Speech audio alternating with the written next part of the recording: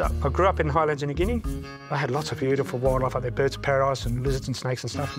But when we come back to Australia, all that disappeared. But after a few years in Sydney, Trevor Sullivan moved to the Northern Territory in 1980.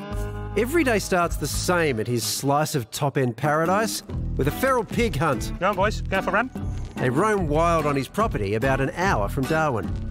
We can go from six o'clock pig catch, cut it up, fed, crocs done by nine o'clock. He reckons he's turned 2,000 feral pigs into pet food since he bought this property 15 years ago. Come on. He's 21, 22 years old, same age as my daughter.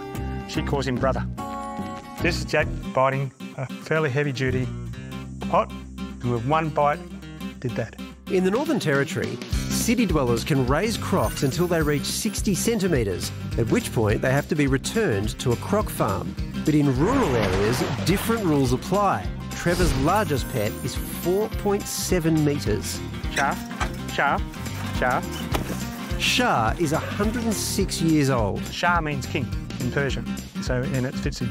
Trevor saved him from a Queensland croc farm five years ago after he lost most of his lower jaw in a fight. I think we sort of suit each other.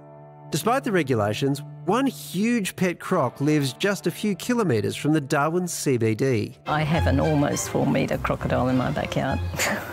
the story goes, my father brought it in. In those days in Darwin, it was just the frontier attitude. You had a croc. There's more and more people seem to be jumping on this, this thing, let's have a croc in your backyard. So I reckon we might be hitting around 20. Nigel came to see crocs in a new light when he was fishing and a croc grabbed his lure. So grabbed the croc, held onto it nice and tight, got my lure back, let him go back in the river, and I'm all happy. Took away the fact that these things aren't the killing machine that, that the newspapers and the media like to go with. The next thing he knew, Nigel was farming crocs, a big business in the NT. And one day, his young son found a discarded egg at the farm. Proud as punch he was, so I was like, okay, we'll, we'll take it home, we'll put it in the shed. About 60 days later, it hatches. This is that hatchling now, Rocco, the freshwater crocodile. He's about 1.5 metres and cranky little bugger. Attitude and plenty of it, but most of it threat. He is a pet and, and he gets treated as a pet. We keep his water fresh, but that's as far as you can go. They don't need cuddles. They don't like them. And after a run in with another freshie, he's learned to keep his distance. You got me on my little finger, and has not worked ever since. Right there, 66 teeth. Look at them. Trash my finger.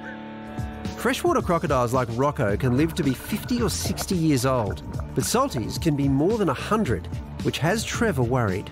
I've reached the age of 60, and the crocodile's going to outlive me by a long shot.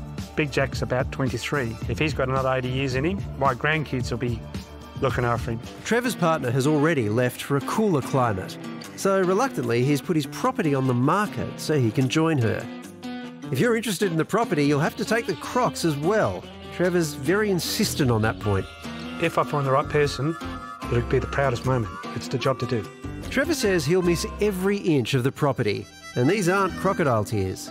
It suits me looking after something, and, um, and it suits him to have someone looking after him.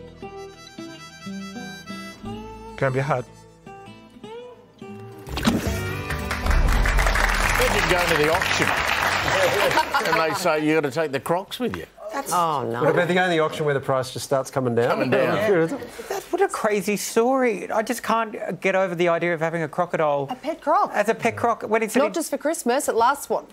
Lives to Wouldn't you what, go to bed every night years? thinking it's going to get out? Yes. Yeah, but it is just the Northern Territory is. A, I've gone for a run in Darwin before and just seen crocodiles and lost my mind. But everyone's just on a morning walk, living. They're fine with it all. Apparently, they can learn affection towards humans, but only I'm not gonna very rarely. Yeah, that's right. Um, and apparently, the temperament is, you know, highly strung and aggressive. So a bit like a poodle. Highly You know? Yeah. More like working in television. Yeah, that's it.